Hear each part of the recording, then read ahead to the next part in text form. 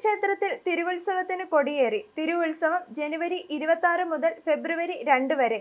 തന്ത്രിമുഖ്യൻ ബ്രഹ്മശ്രീ ഭദ്രകാളി മറ്റപ്പള്ളി പരമേശ്വരൻ നമ്പൂതിരിപ്പാടിന്റെ മുഖ്യ കാർമ്മികത്വത്തിലാണ് കൊടിയേറ്റ് നടന്നത്. തന്ത്രിമുഖ്യൻ ബ്രഹ്മശ്രീ ഭദ്രകാളി മറ്റപ്പള്ളി പരമേശ്വരൻ നമ്പൂതിരിപ്പാടിന്റെ മുഖ്യ കാർമ്മികത്വത്തിൽ കൊടിയേറ്റ് ചടങ്ങുകൾ നടന്നു. തുടർന്ന് ആറേ മുക്കാലിന് കൊടിയേറ്റ് സദ്യ ഏഴിന് ചലച്ചിത്ര താരം കുമാരി ദേവനന്ദയുടെ തിരുവരങ്ങ് ഉദ്ഘാടനം.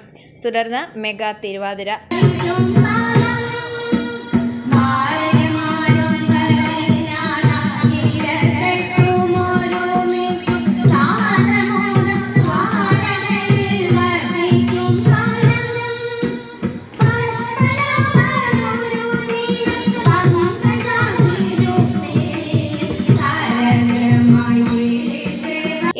മുപ്പതിന് ഭരതനാട്യം ഏഴ് നാൽപ്പത്തിയഞ്ചിന് നൃത്തസന്ധ്യ എന്നിവ നടന്നു. ആറാട്ട് ദിനമായ ഫെബ്രുവരി രണ്ടിന് പതിവ് ക്ഷേത്ര ചടങ്ങുകൾക്ക് പുറമെ പതിനൊന്നിന് ആറാട്ടു സദ്യ പന്ത്രണ്ടിന് സമൂഹ നാമജപം ആറാട്ടുബലി കൊടിമരച്ചുവട്ടിൽ സമൂഹപ്പറ ഒന്നിന് ആറാട്ട് എഴുന്നള്ളത്ത് വൈകുന്നേരം നാല് മുപ്പതിന് ആറാട്ട് അഞ്ച് മുപ്പതിന് ആറാട്ട് കടവിൽ നിന്ന് തിരിച്ചെഴുന്നള്ളത്ത് പൂരണി ദേവസ്വം ഭരണസമിതി ട്രസ്റ്റ് ഭാരവാഹികളായ president N S Sunilkumar Anikkad general secretary Sajeev Kumar Sreebhavanam convener K V Sankaran Namboothiri Thevanam Kottillam vice president Madhusoodanan P R Palakkuzhayil treasurer Padmakumar Puthusseril എന്നിവർ ഉത്സവ ആഘോഷങ്ങൾക്ക് നേതൃത്വം നൽകുന്നു. ഐഫോറി ന്യൂസ് പാല.